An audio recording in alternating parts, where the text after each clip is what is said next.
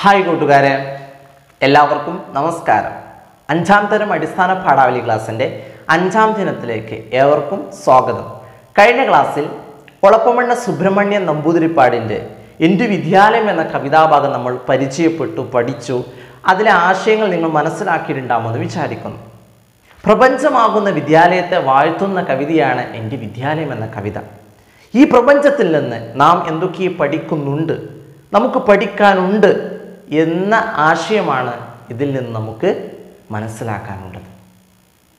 ഈ കവിതയെക്കുറിച്ച് വിശദമായി കൊണ്ട് തന്നെ കഴിഞ്ഞ ക്ലാസ് നമ്മൾ മനസ്സിലാക്കി പഠിച്ചു.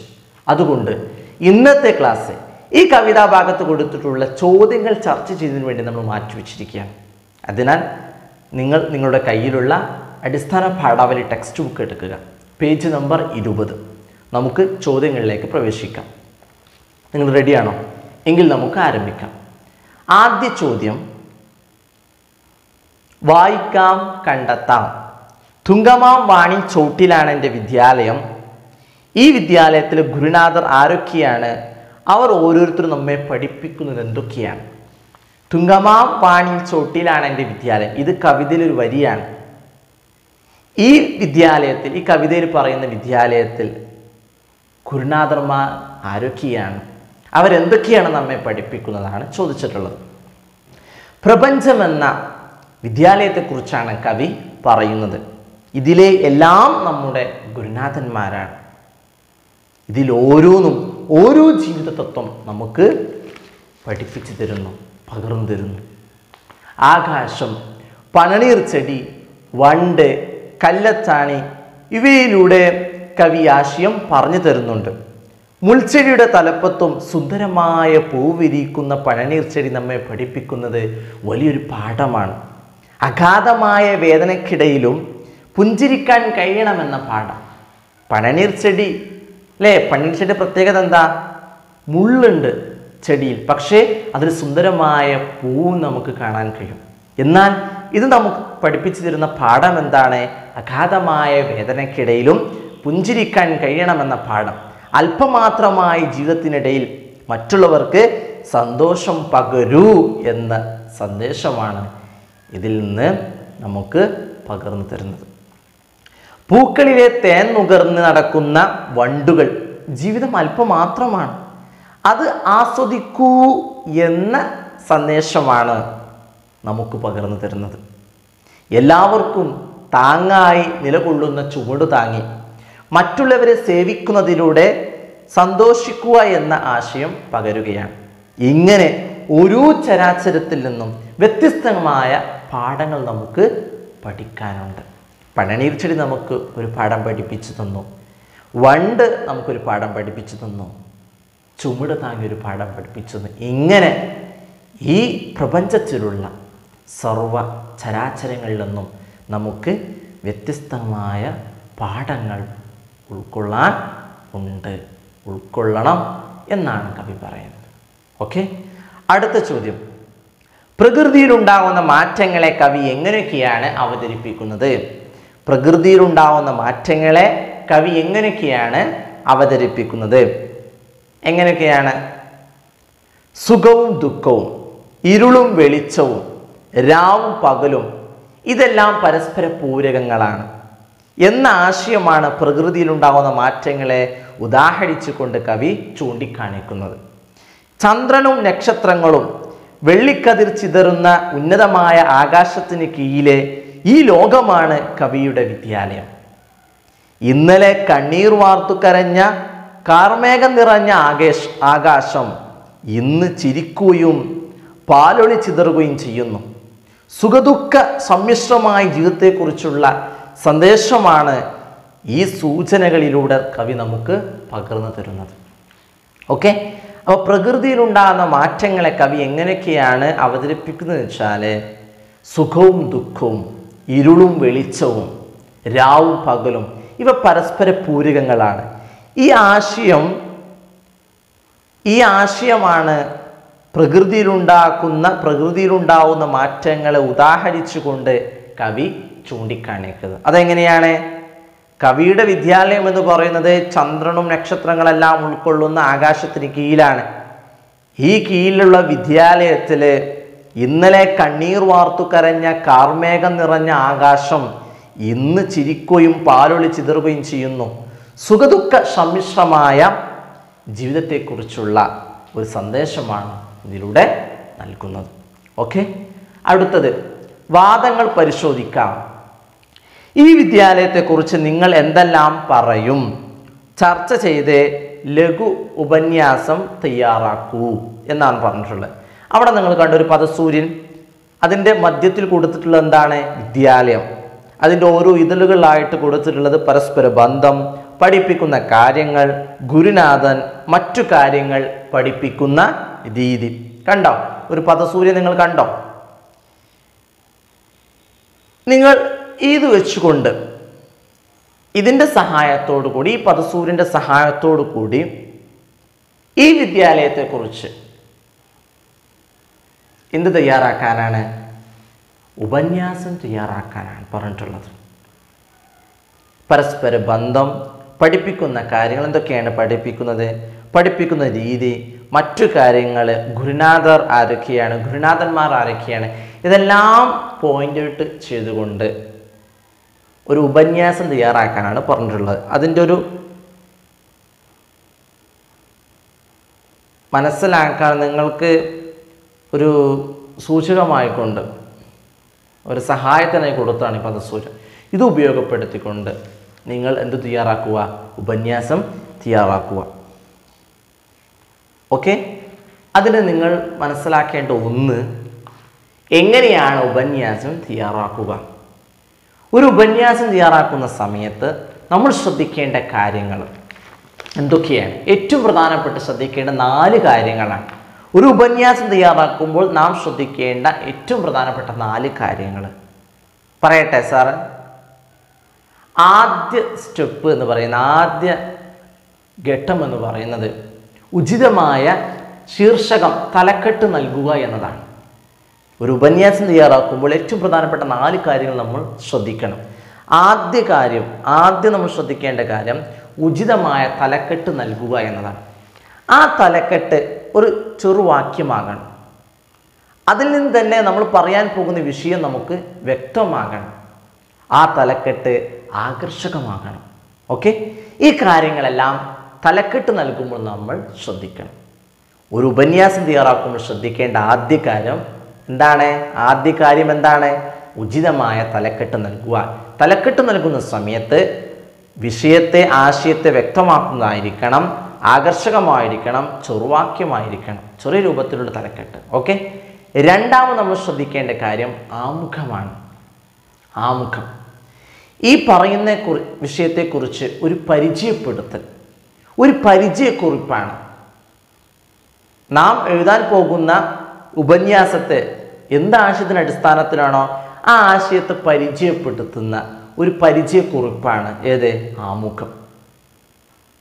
അതിൽ എന്ത് വ്യക്തമാകണം? വിഷയം ആശയം വ്യക്തമാകണം. ഓക്കെ? ഇതാണ് ഉപന്യാസം തയ്യാറാക്കുന്ന സമയത്ത് ശ്രദ്ധിക്കേണ്ട രണ്ടാമത്തെ കാര്യം. ഈ ആമുഖത്തിലൂടെ തന്നെ പിന്നീടുള്ള ഓരോ എഴുത്തും വാക്കുകളും നമുക്ക് വായിക്കാൻ പ്രേരണയാവണം. തുടർവായിലേക്ക് നയിക്കുന്നത് ആമുഖത്തിലൂടെയാണ്. തുടർവായിലേക്ക് നമുക്ക് നമ്മെ നയിക്കുന്നത് ആമുഖത്തിലൂടെയാണ്. അപ്പോൾ ആമുഖം പ്രത്യേകം ശ്രദ്ധിക്കുക. മൂന്നാമത് നമ്മൾ ശ്രദ്ധിക്കേണ്ട കാര്യം ഒരു ഉപന്യാസം തയ്യാറാക്കുന്ന സമയത്ത് മൂന്നാമത് നമ്മൾ ശ്രദ്ധിക്കേണ്ട കാര്യം എന്താണ്? ആശയങ്ങളാണ്. ആശയാവതരണമാണ്. ഓരോ ആശയവും നമ്മൾ പറയുന്ന സമയത്ത് ആ പരസ്പരം ചേർച്ചയുണ്ടാകണം. ഈ ആശയങ്ങൾ തയ്യാറാക്കുമ്പോൾ ഓരോ പാരഗ്രാഫുകളാക്കിയിട്ട് തയ്യാറാക്കാൻ ശ്രദ്ധിക്കുക. നമ്മൾ പറയുന്ന വിഷയത്തെക്കുറിച്ച് നമ്മൾ ആ വിഷയത്തിനോടനുബന്ധിച്ച് വരുന്ന ആശയങ്ങൾ നമ്മൾ ഓരോ പാരഗ്രാഫുകളാക്കിയിട്ട് എഴുതാനായിട്ട് ശ്രദ്ധിക്കുക. ഒന്ന് രണ്ട് മൂന്ന് പാരഗ്രാഫുകളാക്കാം. ഓരോ പാരഗ്രാഫുകൾ ആക്കുന്ന സമയത്തും ഒരു പാരഗ്രാഫ് അടുത്ത പാരഗ്രാഫിനോടൊരു ബന്ധം വേണം.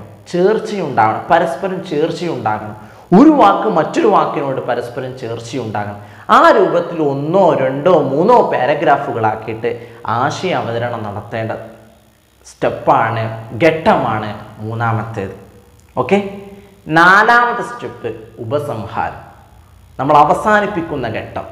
ഇവിടെ നിങ്ങൾ ചെയ്യേണ്ടത് ഈ ആശയത്തെക്കുറിച്ച് ഈ വിഷയത്തെക്കുറിച്ച് നിങ്ങളുടെ നിരീക്ഷണം നിങ്ങളുടെ അഭിപ്രായം എഴുതി ചേർക്കുക. അവസാനം ഇതിന്റെ കൂടെ നിങ്ങൾ എന്ത് ചെയ്യുക? ഇതിൽ പ്രത്യേകം എടുത്തു കാണിക്കേണ്ട ചൂണ്ടിക്കാണിക്കേണ്ട ആശയം ഒന്നും കൂടി ഓർമ്മിപ്പിച്ചുകൊണ്ട് അവസാനിപ്പിക്കുക. ഓക്കെ അപ്പോൾ ഒരു ഉപന്യാസം തയ്യാറാക്കുമ്പോൾ ശ്രദ്ധിക്കേണ്ട നാല് കാര്യങ്ങൾ. ഒന്ന് ഉചിതമായ തലക്കെട്ട് നൽകുക. രണ്ടാമത്തത് ആമുഖം. ആമുഖത്തിലൂടെയാണ് പിന്നീട് എഴുതിയിട്ടുള്ള ആശയാവതരണത്തിലേക്കൊക്കെ നമ്മെ പ്രേരിപ്പിക്കുന്നത് അത് വായിക്കാൻ നമ്മെ പ്രേരിപ്പിക്കുന്നത് ഈ ആമുഖം എന്ന പരിചയക്കുറിപ്പിലൂടെയാണ്. മൂന്നാമത്തത് ആശയാവതരണം നാലാമത്തത് ഉപസംഹാരം. ഉപസംഹാരത്തിലാണ് ഈ വിഷയത്തെക്കുറിച്ച് നിങ്ങളുടെ അഭിപ്രായം നിങ്ങളുടെ നിരീക്ഷണങ്ങൾ രേഖപ്പെടുത്തേണ്ടത്. ഓക്കെ? ഇതാണ് ഒരു ഉപന്യാസം തയ്യാറാക്കുമ്പോൾ ശ്രദ്ധിക്കേണ്ട കാര്യം. അപ്പോൾ ഇവിടെ കൊടുത്തിട്ടുള്ള ഈ ഇൻസ് വെച്ചുകൊണ്ട് നിങ്ങൾ എന്ത് തയ്യാറാക്കണം? ഉപന്യാസം തയ്യാറാക്കണം. ഓക്കെ? അടുത്ത ചോദ്യം. കവിതയിലെ ചില വരികൾ ഒന്നും കൂടി വായിക്കൂ. തുങ്കമാ വാണിയും ചോട്ടിലാണ് എന്റെ വിദ്യാലയം. മുൾച്ചട മുൾച്ചെടി തലപ്പത്തും പുഞ്ചിരി വിരിയാറുണ്ട്. മധുരം ഈ ജീവിതം ചെറുതാണെന്നാകിലും. മൂന്ന് വരികൾ ഇവിടെ കൊടുത്തിട്ടുണ്ട്. ഏതൊക്കെയാണ്? തുങ്കമാം വാണിയും ചോട്ടിലാണ് എന്റെ വിദ്യാലയം.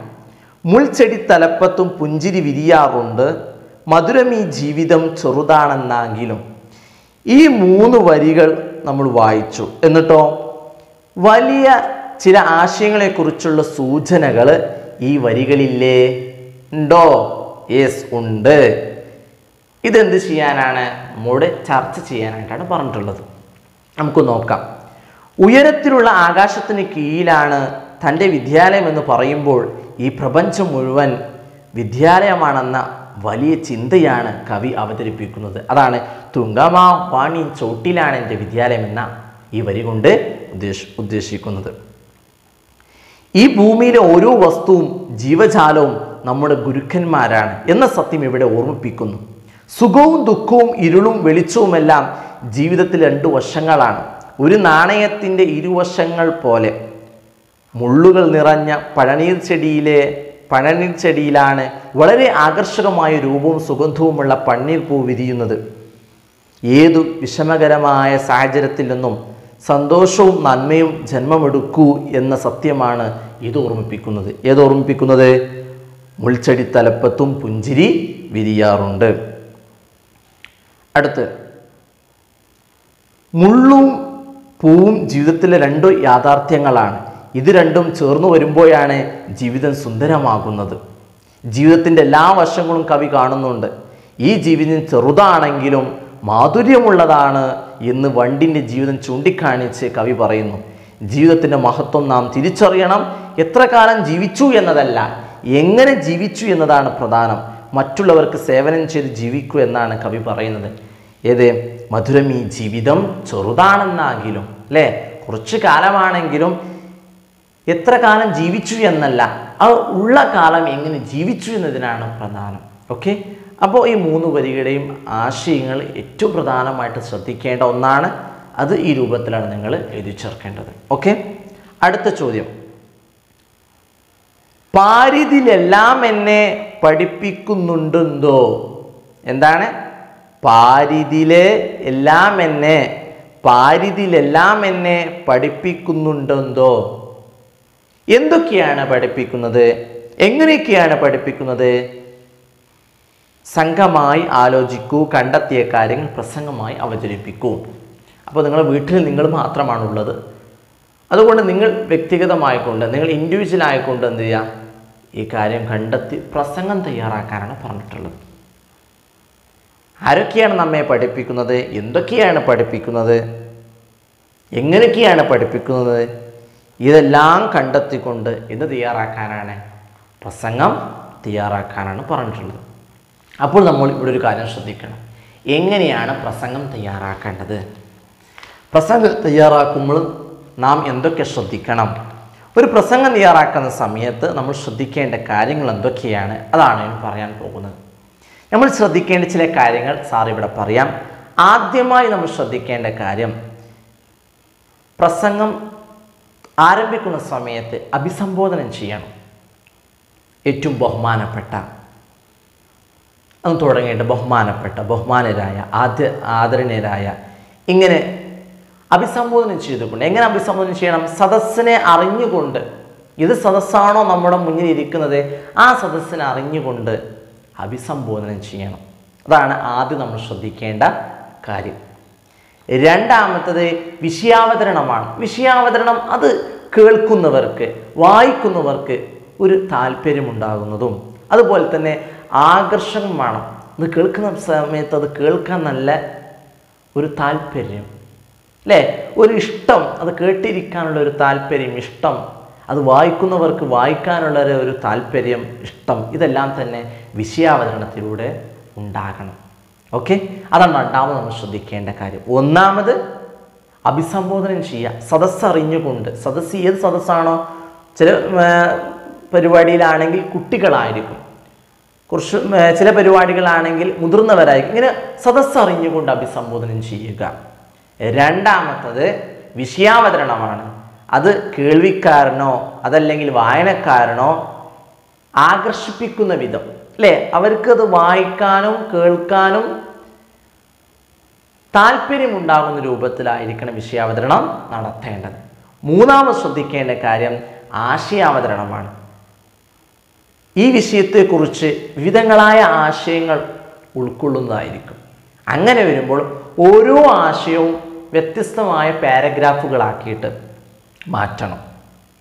ഓക്കെ? ഈ വിഷയത്തെക്കുറിച്ച് ഉണ്ടാകുന്ന കുറേ ആശയങ്ങളുണ്ടാകും ആ ആശയങ്ങൾ ഓരോന്നും ഓരോ പാരഗ്രാഫുകളാക്കി മാറ്റണം. ഇതാണ് ശ്രദ്ധിക്കേണ്ട ആശയാവതരണം ശ്രദ്ധിക്കേണ്ട കാര്യം. അടുത്ത സ്റ്റെപ്പ് എന്ന് പറയുന്നത് ഉപസംഹാരമാണ്. ഉപസംഹാരത്തിൽ നിങ്ങൾക്ക് എന്ത് കൊടുക്കാം? ഈ പ്രധാന ആശയത്തെ ഒന്നും കൂടി എന്ത് ചെയ്യുക? ഓർമ്മിപ്പിച്ചുകൊണ്ട് കേൾവിക്കാരന് നന്ദി പറഞ്ഞുകൊണ്ട് അവസാനിപ്പിക്കാം. ഓക്കെ അപ്പോൾ ഒരു ചോദ്യം നിങ്ങൾക്ക് വരും. എവിടെയാണ് സാറേ നിങ്ങളുടെ നിരീക്ഷണങ്ങളും നിങ്ങളുടെ അഭിപ്രായങ്ങളൊക്കെ? നിർദ്ദേശങ്ങൾ കൊടുക്കേണ്ടത്. അത് നിങ്ങൾക്ക് ആശയാവതരണത്തിൽ കൊടുക്കാം. ഓക്കെ ആശയാവതരണത്തിൽ ഈ വിഷയം ബന്ധപ്പെട്ട ഉദാഹരണങ്ങൾ കൊണ്ടുവരാം. ഉദ്ധരണി ഉദ്ധരണികൾ കൊണ്ടുവരാം. മഹാന്മാർ പറഞ്ഞ ചില വാചകങ്ങളും മഹത്വചനങ്ങളൊക്കെ ഉണ്ടാകും. അതെല്ലാം കൊണ്ടുവരാം. അതുപോലെ തന്നെ ഇതുമായി ബന്ധപ്പെട്ട വരികളുണ്ടെങ്കിൽ എന്തെങ്കിലും ചില കഥാപാത്രങ്ങൾ ഇതിലേക്ക് കൊണ്ടുവരാനുണ്ടെങ്കിൽ അല്ലേ? അതെല്ലാം തന്നെ ആശയാവതരണത്തിൽ നിങ്ങൾക്ക് ഉൾപ്പെടുത്താം. നിങ്ങളുടെ അഭിപ്രായം നിങ്ങളുടെ നിർദ്ദേശം എല്ലാം തന്നെ ഇതിലൂടെ നിങ്ങൾക്ക് ഉൾപ്പെടുത്താവുന്നതാണ്. ഓക്കെ അപ്പോൾ ഒരു പ്രസംഗം തയ്യാറാക്കുന്ന സമയത്ത് അഭിസംബോധനം ചെയ്യുക. രണ്ടാമത്തെ വിഷയാവതരണമാണ് ശ്രദ്ധിക്കേണ്ടത്. അത് കേൾവിക്കാരനോ വായനക്കാരനോ ആകർഷിപ്പിക്കുന്ന വിധത്തിലായിരിക്കണം. മൂന്നാമത്തത് ആശയാവതരണം. ഒരു വിഷയത്തെക്കുറിച്ച് വ്യത്യസ്തമായ ആശയങ്ങളുണ്ടാകും ഓരോ ആശയങ്ങളും വ്യത്യസ്തമായ പാരഗ്രാഫുകളാക്കി മാറ്റിക്കൊണ്ട് എഴുതാനായിട്ട് ശ്രദ്ധിക്കുക. ഇതിൽ തന്നെ നിങ്ങളുടെ നിരീക്ഷണങ്ങൾ നിങ്ങളുടെ അഭിപ്രായങ്ങൾ നിങ്ങളുടെ നിർദ്ദേശങ്ങൾ അതുപോലെ തന്നെ ഓരോ ആശയങ്ങൾ പറയുമ്പോൾ വിവിധങ്ങളായ ഉദാഹരണങ്ങൾ എടുത്തു വെക്കാം ഉദ്ധരണികൾ എടുത്തു വെക്കാം മഹാന്മാർ പറഞ്ഞ ഉദ്ധരണികളെല്ലാം തന്നെ എടുത്തു വെക്കാം. ഇതെല്ലാം തന്നെ ഈ ഘട്ടത്തിൽ നമുക്ക് ഉപയോഗപ്പെടുത്താവുന്നതാണ്.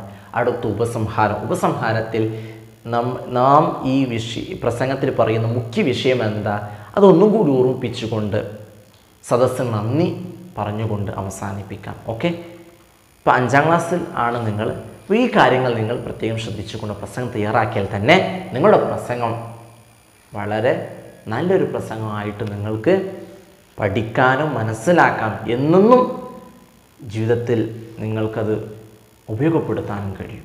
ഓക്കെ? അതാണ് ഇവിടെ പറഞ്ഞിട്ടുള്ള പ്രവർത്തനം. പ്രസംഗം തയ്യാറാക്കാൻ. എങ്ങനെ തയ്യാറാക്കേണ്ടതാണ്? സാറ് പറഞ്ഞത് പ്രസംഗം തയ്യാറാക്കുമ്പോൾ ശ്രദ്ധിക്കേണ്ട കാര്യങ്ങൾ. ഓക്കെ? അടുത്ത് അഞ്ചാമത്തെ ചോദ്യം. നമുക്ക് ചുറ്റും കാണുന്ന പുലുകളും പുഴുക്കളും കിളികളും ഭൂമരങ്ങളും എല്ലാം നമുക്ക് ആരൊക്കെയോ ആകുമ്പോഴാണ് നമ്മളും പ്രകൃതിയും ഒന്നായി മാറുന്നത്. എത്രയെത്ര സാഹിത്യകൃതികൾ നമുക്കത് മനസ്സിലാക്കി തരുന്നു?